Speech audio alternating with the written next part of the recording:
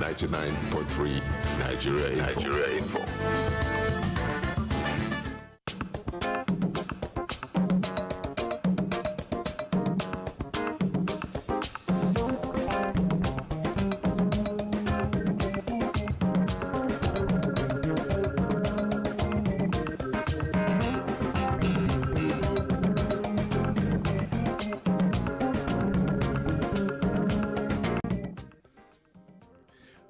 Welcome to the you're welcome to the Daily Digest with Jimi Disu.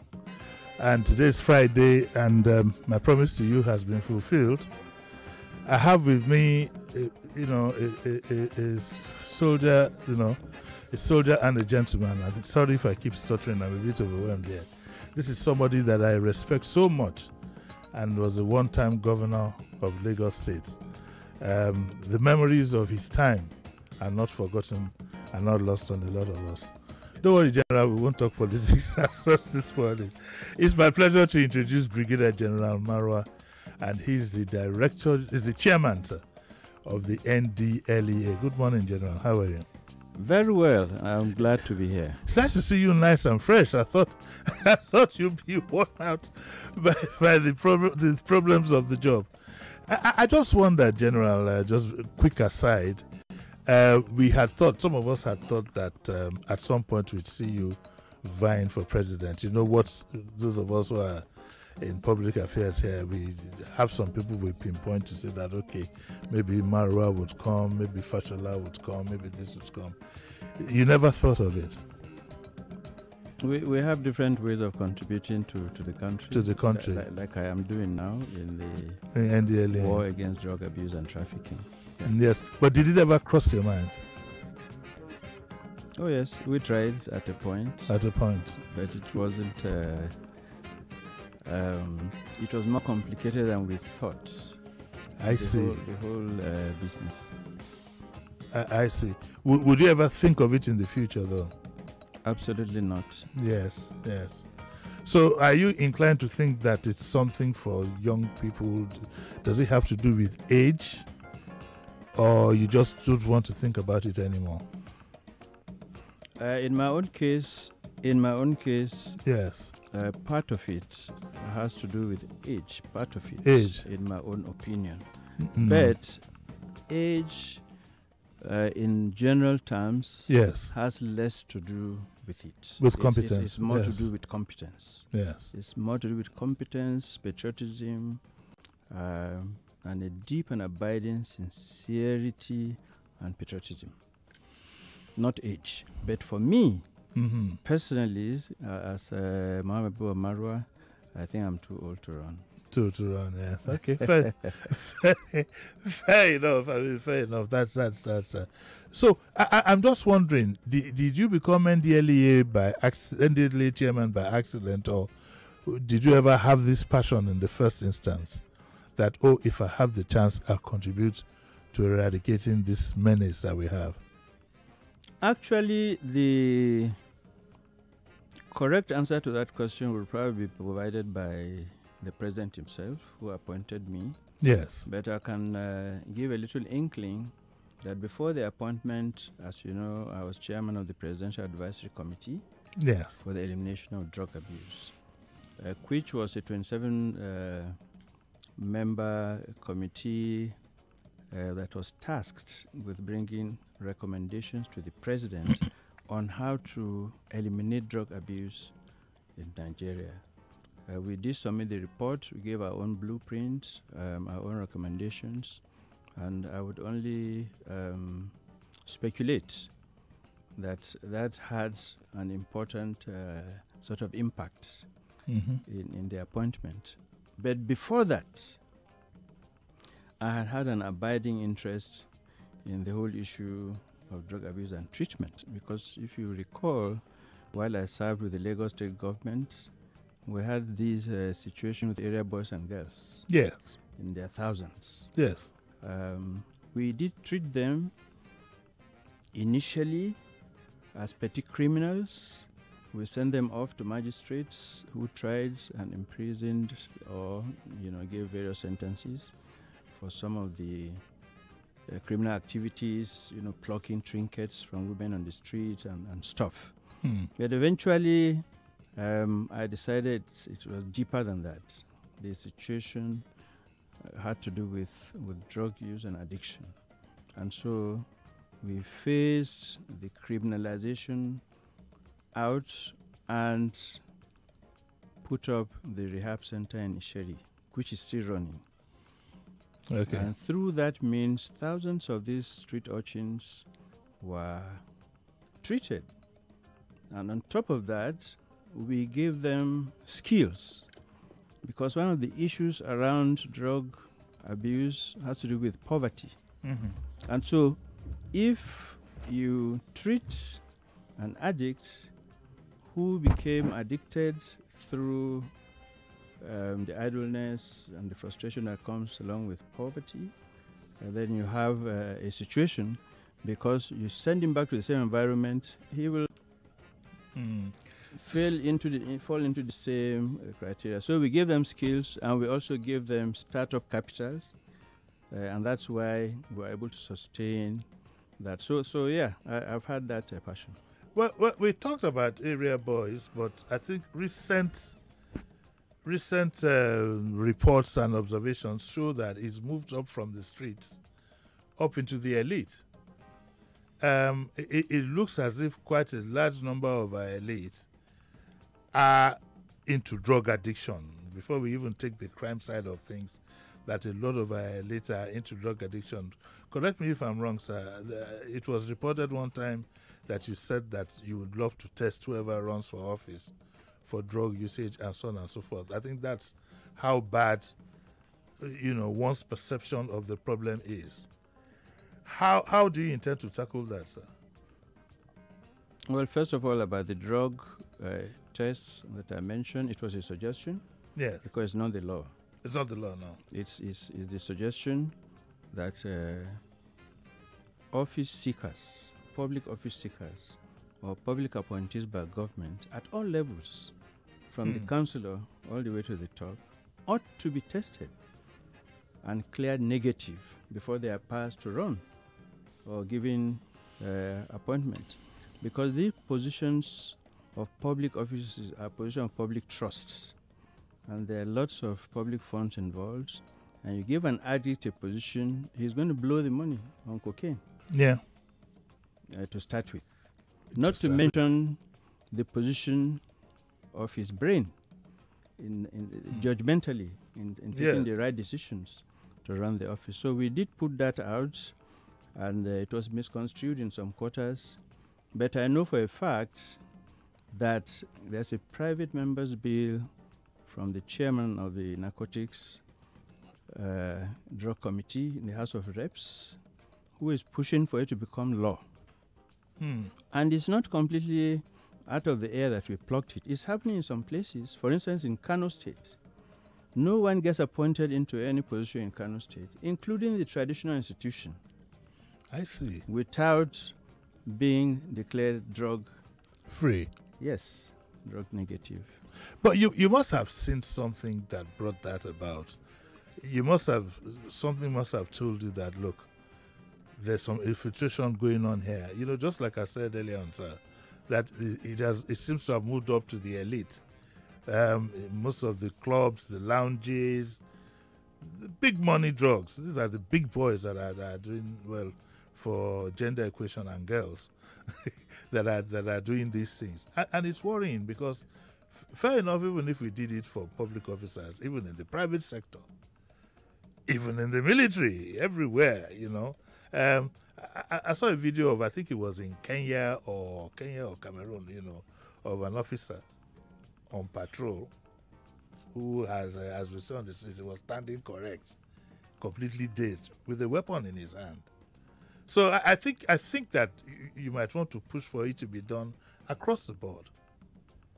You know, maybe even even in our own profession, before you open up the mic for the man, make sure he doesn't go and say the wrong.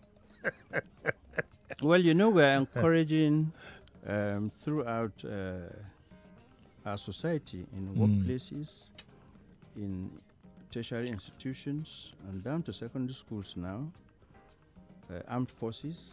Like you said, you can't give somebody a weapon Yes. and he is intoxicated with drugs because there will be accidental discharges everywhere. People, will, innocent people, will be killed.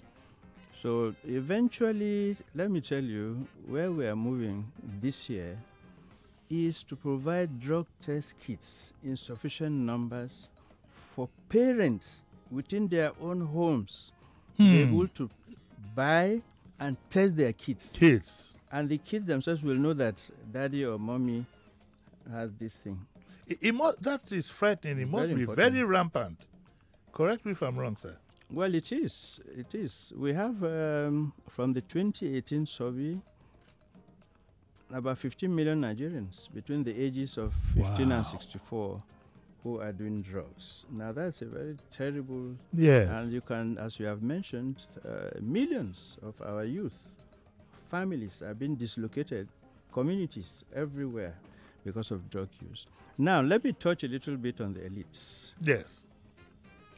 Even though they are not in the majority uh, that are doing drugs, because um, unfortunately, those who do drugs in the majority are low class because of poverty. Poverty. So there are two things that push the elites. First, people think when you have money, that's contentment and happiness, but that's not not necessarily so. And you have those who are very wealthy, still they are not happy, and Hmm. feel that the only way for them to be happy uh, is to take drugs. And secondly, it's just even if they are happy, you have the, ca- the, the, the category that I believe is part of the class Yes. It's the in thing. You have to have those lounges. You have to do stuff to belong, and and it's part of the enjoyment of life. So so the, you have those categories. But we continue to advocate that it does you no good, Good. to take drugs, something that damages the brain, the organs, and even kills. It's very very uh, important, and, and we are pushing, we are pushing, we are pushing. Do, I, I'd like to know where your tendency lies to see it, to see drugs as a societal problem. Excuse me. Mhm. To see it as a societal problem or as a crime. Which is a, which takes more of your focus? Both. Both. both um, possession of drugs is already in our acts as a crime. Hmm. Now it is left for us in the NDLEA to determine when you possess, what is your intention? Is it to use or is it to deal? Uh, both, it, it really doesn't matter but we have our own standing operating procedure. Uh, when we determine that, it will lead us into taking the correct action. But we tend to be sympathetic to drug use. When you use Yes, drugs Yes. and it is really beyond your control, uh, it becomes a disease. And in that case, you need help. And so we promote going to our counseling and rehab centers. And it is for this reason that we have the 24 7 helpline. Um, we have this helpline especially geared towards those who either don't know where to go to get help or they don't want to go Hmm. to get help so that people don't see them. You know, the Hmm, stigma. Yes. Stigma. People don't want to go uh, and, and get help. And the, the thing is, Lagos, I must say very c- clearly, has the highest prevalence rates in Nigeria. The prevalence in Lagos State, and this is evidence based, stands at 33% between the ages of 15 and 64. Now that is frightening. So if you look at uh, population of Lagos, if you say it's 25 million or so, then we are really talking like 4 million. That's a very high, Very, very high. high number. Um, and most of that, a very high proportion of that, uh, is cannabis, which is used. Uh, it is smoked, it is drunk, it is eaten, you know, it's inhaled, all kinds of stuff. Um, yeah, so this this uh, an area that demands urgent attention and whole society participation. Generally, mentioned cannabis, but it would appear that apparently people don't think that is much of an offense to be caught with cannabis. Cannabis is smoked, you know, left, right, and not just cannabis, too. There are other funny smelling, uh, I've lost track of them. Uh, everybody seems to think that um, if it's cannabis, it doesn't catch the attention of the NDLEA. Rather, they look at cocaine, crack, heroin, and all these other things. So, invariably, to clear for those who are listening, if you are caught smoking cannabis in public or in private, you are committing an offense. It's a crime in Nigeria. Okay. It's in our acts, and we deal with anyone that we catch with cannabis. You don't even need to be smoking it. Once you are in possession of it, that's a crime and you'll face the music. But as I said, we also have a standard operating procedure where after we make the arrests, we determine the appropriate action that we must take. We have gone out um, to destroy cannabis plantations.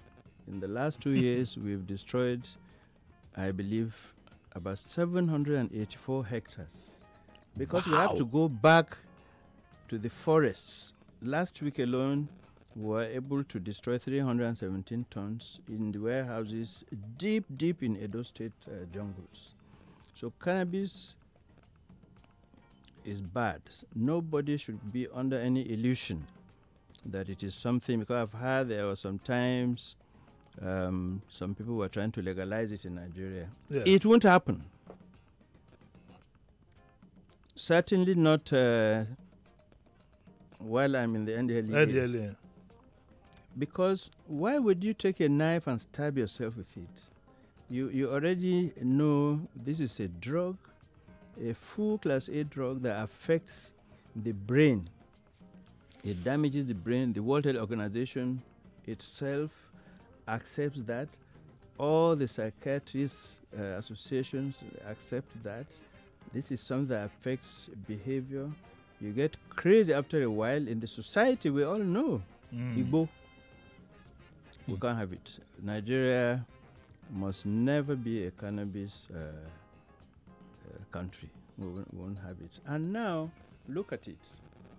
In the World Drug Report 2021, there was a prediction that in the next 30 years or so, that's 2021, the drug abuse rate in the, in the, in the world will increase by about 10 11 percent.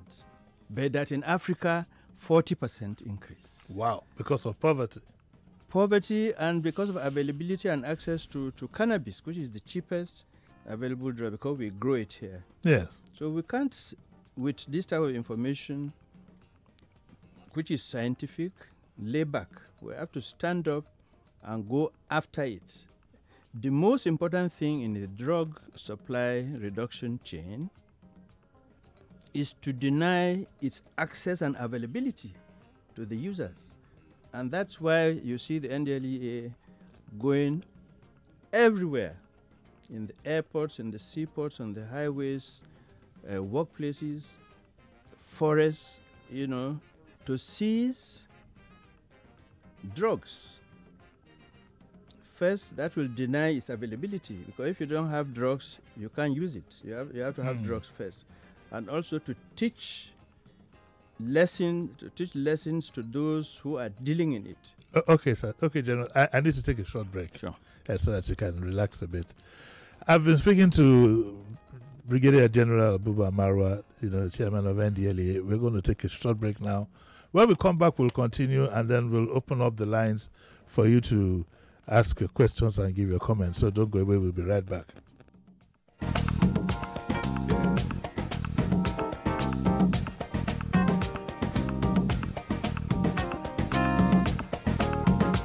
Talk. Alexander Liverpool are majestic. You can't coach against them. City have to defend for six minutes. They do not want to attack this. Ferland Mendy across into the penalty area, headed down by the Madrid players. Still Madrid hopping around City's penalty box. A chance could come for them. It's 1-1 on the night. It's 4-5 for 2-2. wow. They are back. Incredible. Well, one of the great nights um, as a radio football commentator, certainly. Uh, was special. was special. You could sense it. I literally could sense um, a potential comeback, and I wasn't surprised when it happened. But you know how I was still able to articulate my words after that goal came in, uh, something magical. So one of those great minds. Thanks, Alexander Liverpool are majestic. You can't coach against this. I'm a soccer for Trent. You know, if he wasn't a Liverpool player, I would wear a jersey with Trent at the back. Um, that was special. It was a free kick from about 38, 40 yards against Chelsea, a team I you know, somehow don't fancy. Um, it was special, and I fell off the seat. It's a classic. I don't think any commentator has been able to do that. To keep you Every day is a new experience for me here. And I get, I mean, look, see how excited I was coming into this studio. It was like a kid in a candy shop. What I enjoy doing the most here, let me put it in my own words, is Dear Bumi because it's relaxing, it's hilarious. Um, and of course, I, I, for the life of me, I would never miss um, doing programs with Sheriff in the morning. It's one of the best, that's what keeps me uh, alive and going. I think the one that I would remember the most, uh, believe you me, is the one I did with Made Kuti, uh, Femi's son. Um, every time I looked at, you know, every time I think of the young guy, I feel so inspired because I'm always thinking of tomorrow. I'm youth driven. I'm not saying I'm a youth, oh, but I'm youth driven. Oh, the best thing about being a radio show host is when people hold your hand in public, they pray for you, they send you messages and appreciate what you're doing. Because it's apart from it being a big job, it's a sacrifice. If you want to do this job well, it is a big, big sacrifice. I'm not known to be a liar. I'm, I'm somebody who, and the reason why, why I don't lie about certain things is I don't want to be caught out. Okay, so if I overslept, you hear me on radio saying, sorry, I came late, I overslept. I don't want anybody telling me that this is what happened. You know, I'm very conscious of that. So I don't think I ever lied not to be on air. I'd have called ahead to say, uh, because I'm a professional to the core, and you can ask those who work with me. If I can't make it, sometimes I'd call Sharif in the morning and say, Sharif, oh, let me, I'm tired. If I'm tired, I'm tired, you know. Uh, So I don't think I've been caught out as such. I can't remember any time. Needs, ain't average, no.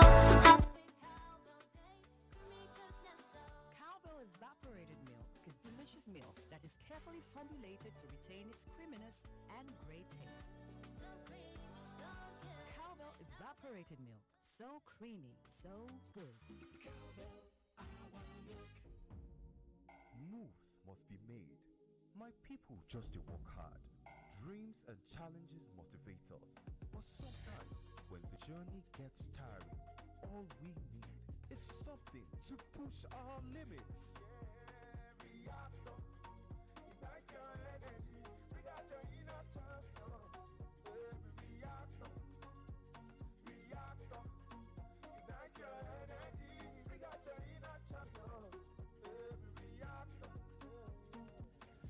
Reactor Energy Drink.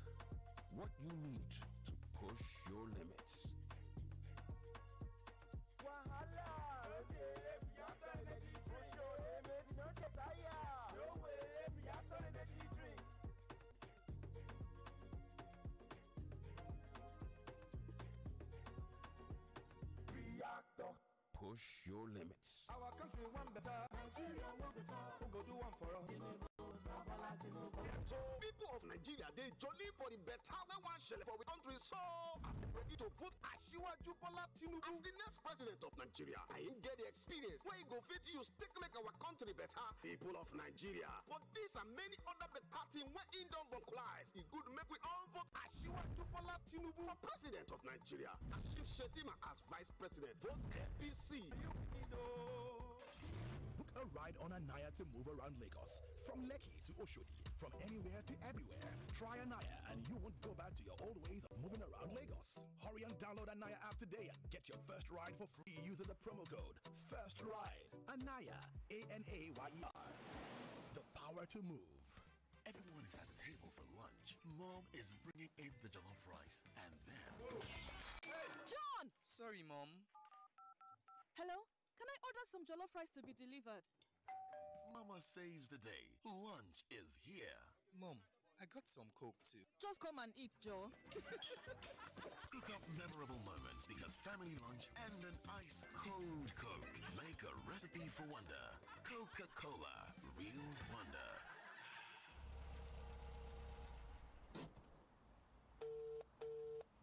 Guy, I'm in front of your household. Oh. God! what is this I'm looking at? How fun. Last, last. Now you this changer at the pillow. Wait, wasn't it two days ago that you bashed your car? Uh-huh. And now you're driving another one? Oh boy, now blessings on blessings on blessings. oh. Hey, you just upgraded like that. Guy, I beg be quiet. Is that how people buy cars? It's the car my insurance company, AXA Mansard, gave me while my car is getting fixed. Eh, it's a lie, oh. AXA Mansard gave you makeshift car. Yeah. The same company that took your car to Better Auto Shop all within 24 hours. Guy. Why you no show me the way? Before my insurance company make me pack car for three months, they jump boss round Lagos. AXA Mansard Moto Insurance is the one-time insurance feels like an upgrade and leaves you wanting to say thank you for what you truly deserve. Visit www.axamansard.com or call 0700 AXA Mansard today. AXA Mansard. Big protein breakfast. That's the secret. To how mom wakes up early, makes breakfast for us, and runs off to work. How daddy works most nights and still gets up early to drop me at school. No matter how busy they are, they're never too tired to play with me. And that's because they never leave home without a peak protein breakfast. Start every day with a peak breakfast enriched with protein to keep you going. Peak. Reach for your peak. When something correct go show, we go see and well well. Color correct. Now now we time to choose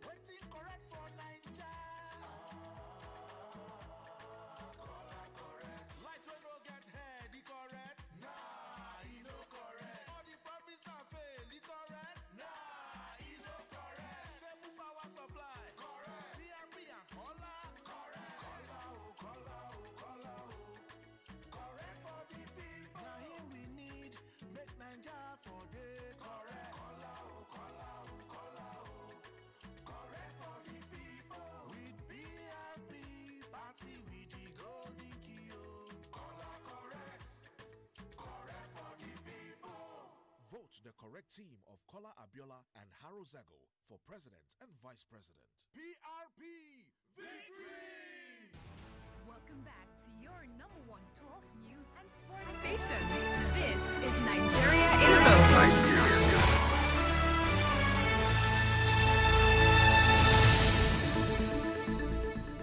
Welcome back. Welcome back. This is Daily Digest with Jimi Disu.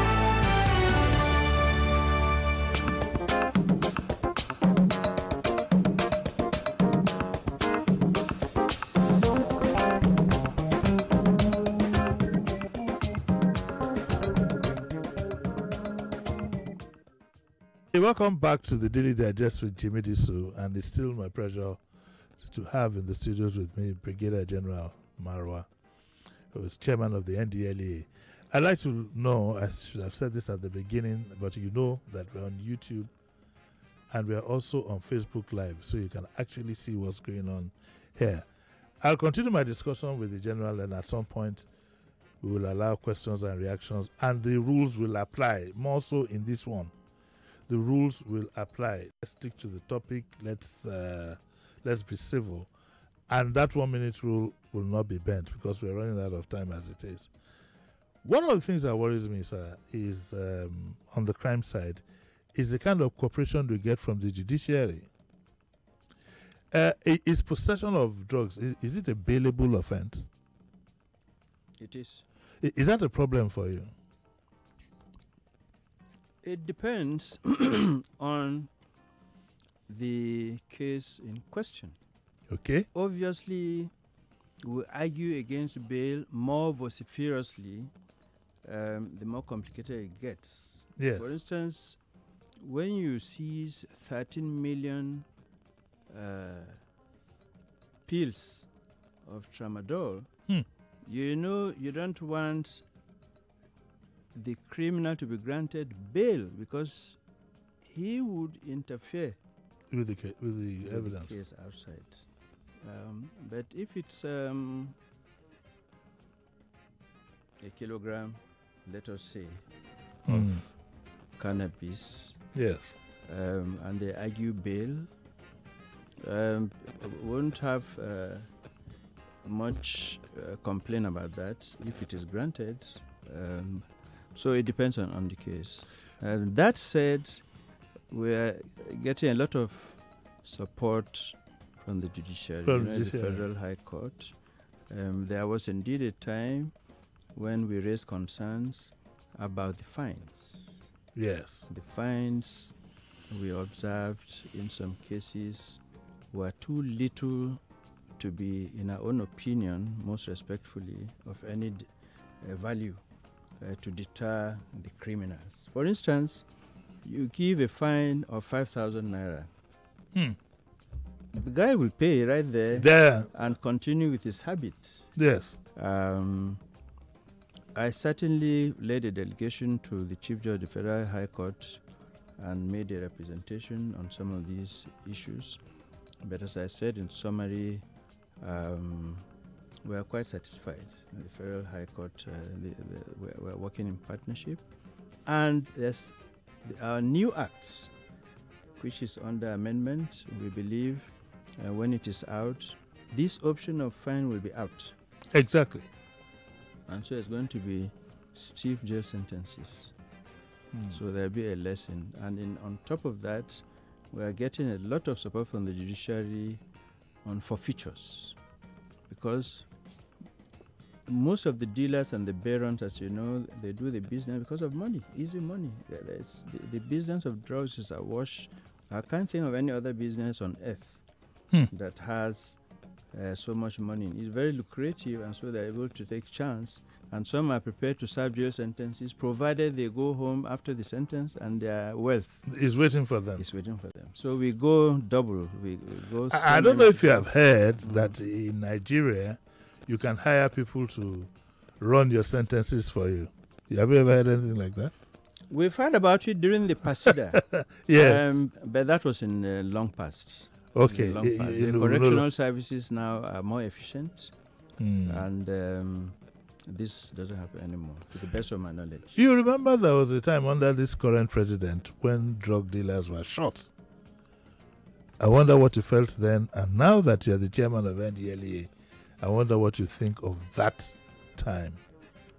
You were in service then, of course. Yes, I was. Um, even though uh, during the tenure of uh, then General Muhammadu Buhari, Yes. I was a student in, uh, in the US. Okay. Uh, pursuing my university education, but I was following these things. Uh, the best practices now, and with our collaboration um, with international partners, the issue of death penalty is out for Nigeria. Okay. But as I said, the new amendment has stiffened the sentences, the jail sentences, Hmm. and also the enforcement in terms of forfeitures, uh, which are sufficient. Some people, indeed, some countries have, um, would I say, out of frustration, decided that, okay, look, as far as usage is concerned, uh, rather than criminalize it, why don't you manage it? Uh, legalize it up to a point and manage it. I, I wonder what you think of that. Would that be some good tactics to deploy in a country like ours? It depends on the countries. Um, as I said, we have an SOP in which we determine what to do after the arrest, having determined if the person arrested is a user or not. Okay. Um, but we have to be very careful. Circumstances are different. Some of these countries in the West that have legalized it, there are so many uh, social systems that support people. So the, the, when they use drugs there, it is uh, not exactly because of wanton poverty, like in our own case. So we can't do exactly what they are doing there. There. And so if in Nigeria, for instance, you say completely it is decriminalized. I just mentioned 4 million, didn't I? Yes, You yes. can be sure in 60 days that number will triple to 12 million. Because once you know it's decriminalized, it's not an offense, I can do marijuana uh, anyhow, Mm. they'll go for it because of the prevailing circumstance of poverty and so on. So you now have a 4 million prevalence still with the fear of being arrested. So you are taking it you, with that fear Yes. that there, there, there could be a sanction on you if you're arrested. So if we were to say no sanctions, go ahead, it's not a criminal activity, so it won't work in Nigeria. And this Hmm. part I made very clear in the last uh, heads of drug law enforcement agencies uh, of Africa meeting in Kenya uh, last year. I, I made this very, very clear that we have to be careful with this decriminalization. It will not work everywhere. It won't be an even template. But we who are in the front line on this war, we will determine what to do at Mhm. the point of contact. Let me let me something uh, bothers me from a very narrow perspective. You know, I'm I'm not an NDLEA operative. I'm not security minded, but there seem to be for what Yorubas will call Ogberi, who doesn't know anything. We would think that there are some places that are easily identifiable as hotspots for drug for narcotics that continue to exist in areas like Ojuno, Mushin, you know, almost the same buildings. I wonder why you haven't um, tried to cross them completely, you know, cross them completely and take them out. Thank you very much. It's a very important. Uh, let me tell you now. Yes. And I'm happy Nigerians are listening. Yes. I have all the dr- drug joints in the country. Local You know where they are. I know where they. We know where they are.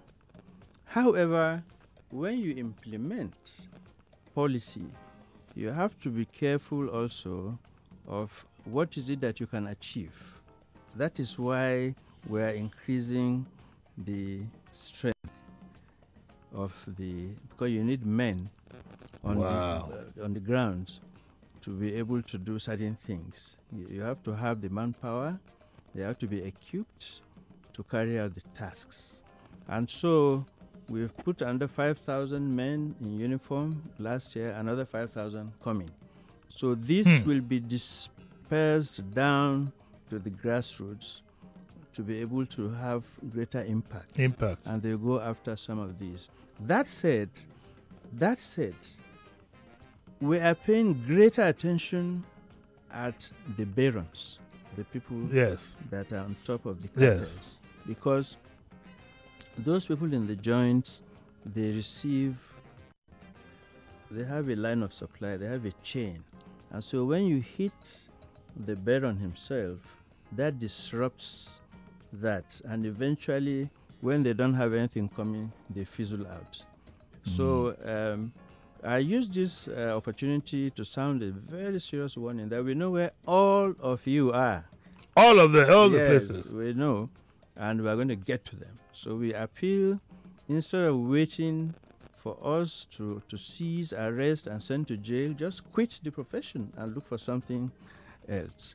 That said, we have in the last two years been able to arrest about 34 barons. Yes, I, how did that come about, though? I, I- don't want to indict your predecessors, but how did you get to this high-profile arrest? You, you know, arrest. Intelligence. We are intelligence driven. We have tools. Our officers are professional, and we work in partnerships also with the international. You know, we work with the DEA. Yes. We work with the German criminal police. We work with the French uh, police. We work with Saudi, the General Director of Narcotics. Um, I've just come back from India, where I went to because that's one of the sources of uh, the opioids. The opiums, yes. So we we're intelligence driven. Now there's uh, more training in the agency for the people to be at the cutting edge of their profession, and so when the barons go about their business like before, they better know that the NDLEA has changed. Do you do you um do your men confront danger? Are they the barons, for example, uh, are they getting more brazen? Um, like like you see in movies, like in Colombia, some of them even have armies. Uh, do you have any experience of that here? Are we getting anywhere close to that? Absolutely. Wow. Because the cartels, they're international. Hmm. And when you seize 2.1 tons of cocaine, Hmm. like we did last year, we know for a fact that it wasn't a local affair. It, it's, it has to be linked to Latin America. Hmm. Um, so we have the same challenges here. We lose gallant uh, officers.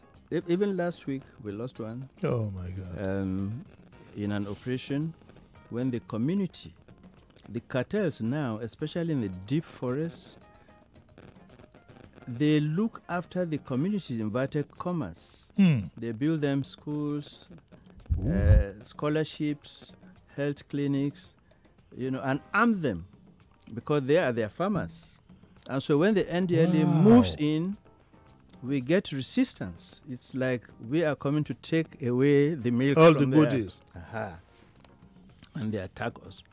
But we're up to it. No question about it.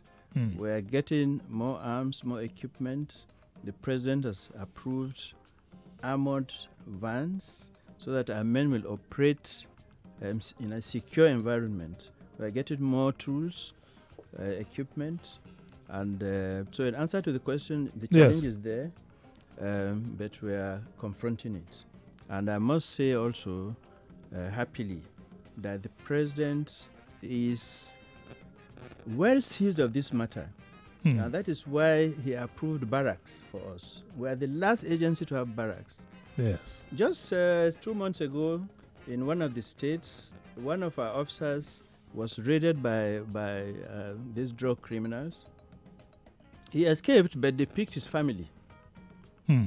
And in the ensuing phone call, they they were very clear that that man in particular was giving them a lot of So, uh, worries. uh, because you, you still have another two years to go, sir. Am I right? Um, Your tenure is four years. Five, actually. Five. Uh, so you must be praying that you have uh, a drug intolerant president uh, from May next for May this year. You must Uh, be doing that. And I'm sure we will get a drug intolerant, Intolerant president. Yes, president. because there's no president that will come on seat and not be seized of the issues that is destroying millions of our children and the Mm. whole country and giving us a bad name. Okay. Things are now moving up. We've seized 5,700 tons in two years. Imagine if that was on the street, how Hmm. that would have uh, gone round. 500 billion naira worth. Wow. Both in cash and value. This, this, this money. Wow. So if this had gone in, Well, I wish I had more time, but I can take just two phone calls very quickly. Hello. Hello. That's that. You, you- you are not calling from a good place. Let's have another one. Hello. Good morning, Oga Jimi. Morning, quickly, please. Lucky Lola from Agboro. Yes. Yes, talking about um, equipment and every other thing. Yes. In the news few weeks ago, we heard that your agency is trying to, you know, get this fast dog, which costs nothing less than fifteen thousand dollars to twenty thousand dollars. I want to ask, can't it be gotten from another country at a cheaper price? And is there no other machi- um, machinery or tools you and your agency can use to achieve your aim? Okay, Bye-bye. So uh, when he's talking of um, sniffer dogs, he's wondering whether you can use the local bingos and things.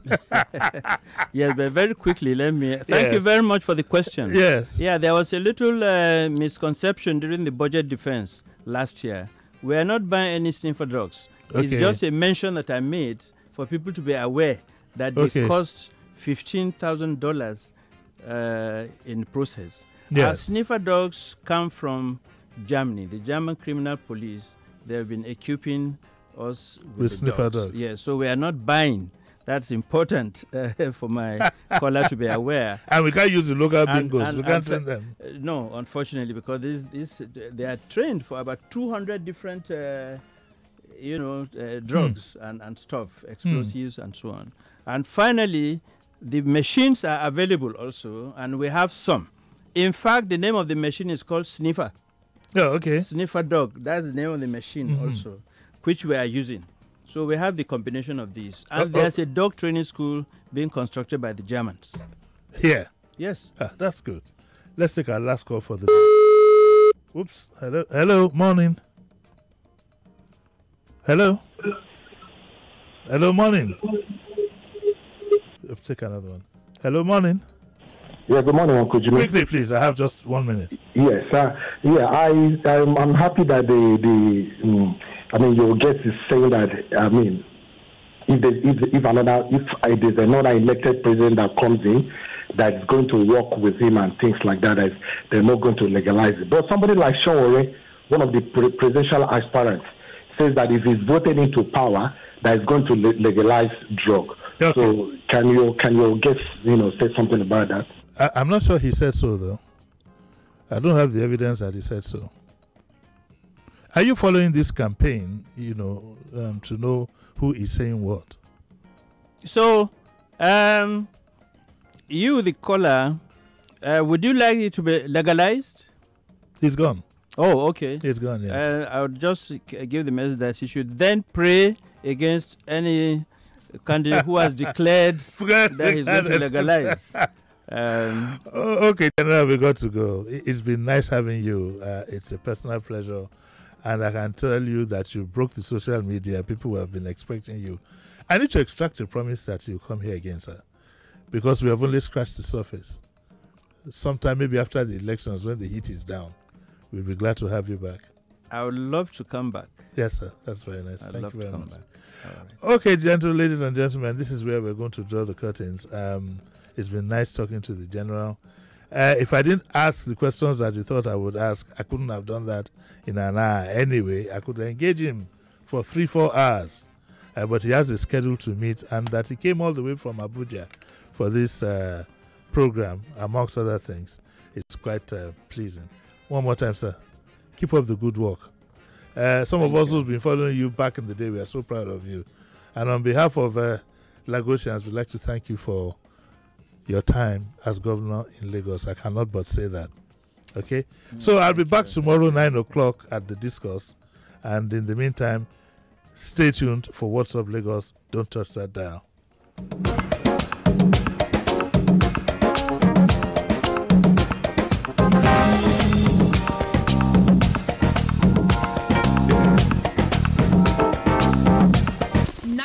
Three Nigeria Info. We are more than just radio. Subscribe to our YouTube channel at Nigeria Info FM. Check us out on Facebook at Nigeria Info 99.3. Follow us on Twitter at Nigeria Info FM and on Instagram at Nigeria Info FM Lagos for live updates as it happens. 99.3 Nigeria Info. Let's talk. 99.3 Nigeria Info. We are more than just radio. Subscribe to our YouTube channel at Nigeria Info FM. Check us out on Facebook at Nigeria Info 99.3. Follow us on Twitter at Nigeria Info FM and on Instagram at Nigeria Info FM Lagos for live updates as it happens. 99.3 Nigeria Info. Let's talk. 99.3 Nigeria Info. We are more than just radio. Subscribe to our YouTube channel at